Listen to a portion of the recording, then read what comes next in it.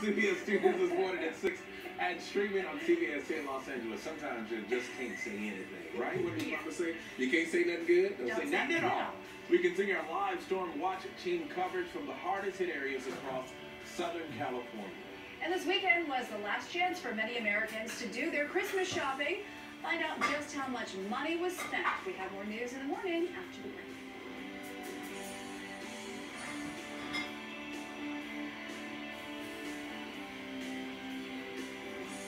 CBSN Los Angeles, now streaming 24 7.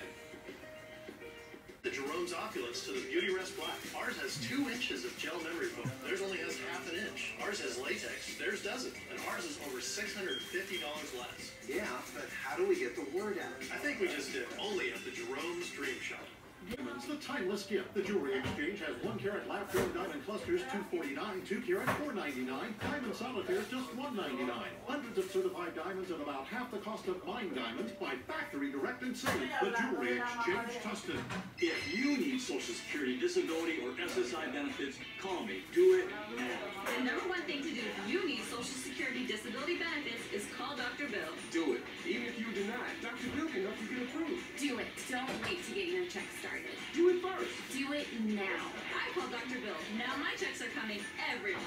I'm Dr. Bill LaTour. I'm both a psychologist and a lawyer. Call me. I know what to do to get you approved. You don't even have to leave your house. We'll come to you. Compare our Premier Estate Copper Gel to the Tempur-ProAdapt. Both have the latest cooling technology. But our layers have Jerome's gel and cooling copper infused gel. And best of all, the Jerome's Copper Gel is $1,300 less. Only at the Jerome's Dream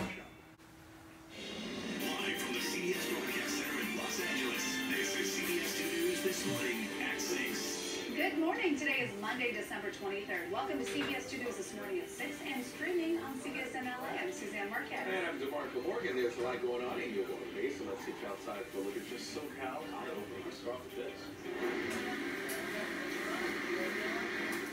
I'm sure you have peeked outside by now.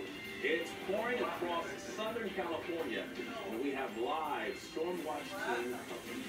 And the rain is making it dangerous on the roads. We'll show you the problems it's causing.